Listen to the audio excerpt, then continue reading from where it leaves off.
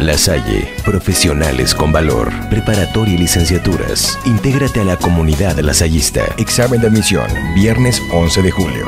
321-2103, extensión 124.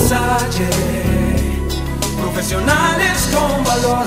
Pruebas de talento sábado 12 de julio. El gobernador sustituto de Michoacán, Salvador Jara Guerrero, dio a conocer los nombres de quienes integran el gabinete que lo acompañará durante los próximos 15 meses. Informó que el aún diputado Jaime Darío Ceguera aceptó estar al frente de la Secretaría de Gobierno y una vez que asume el cargo será el encargado de dar el nombramiento a los titulares de las dependencias estatales. En primer lugar, he invitado al maestro Jaime Darío Ceguera Méndez para que colabore con el gobierno en la Secretaría General de Gobierno.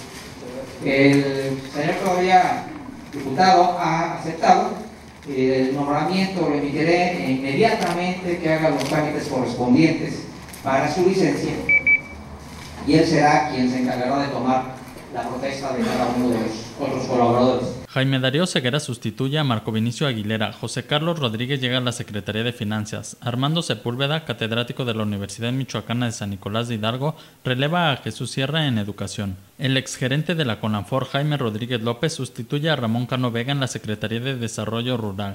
A la Secretaría de la Mujer llega Samantha Flores en relevo de Consuelo Muro. Como secretario de Salud se designó al doctor Carlos Aranza, quien suple a Rafael Rodríguez. En la Comisión Coordinadora del Transporte, Javier Ocampo ocupará el lugar de Ignacio Colina Quirós y en la dirección del DIF, la delegada federal de turismo, Ana Compeán, revelará a Nelly Sastre. Como directora del DIF, he invitado también a otra michoacana distinguida que últimamente se ha caracterizado eh, por, su, por dar importancia a todas las obras sociales y a los valores familiares también que es Ana Compeán. El mandatario michoacano Jara Guerrero ratificó a la periodista Georgina Morales como coordinadora de comunicación social y a Roberto Monroy como secretario de turismo. En la coordinación de comunicación social, pues sigue Gina Morales.